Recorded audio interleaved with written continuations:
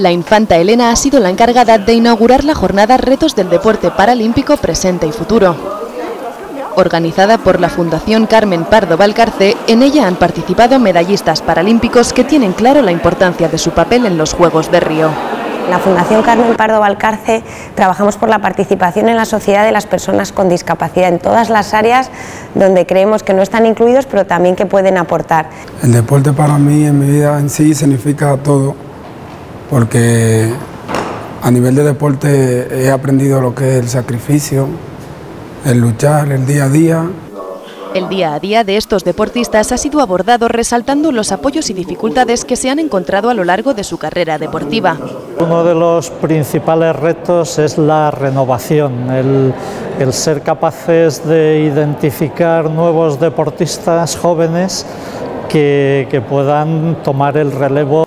Esgrima, natación, atletismo, no hay disciplina que se les resista a estos grandes referentes del deporte. En cualquier caso, yo soy optimista de que, de que España pues, seguirá siendo una potencia dentro del deporte paralímpico. Cerca de 150 deportistas paralímpicos españoles con un único objetivo, superar las 42 medallas que se conquistaron en los Juegos de Londres.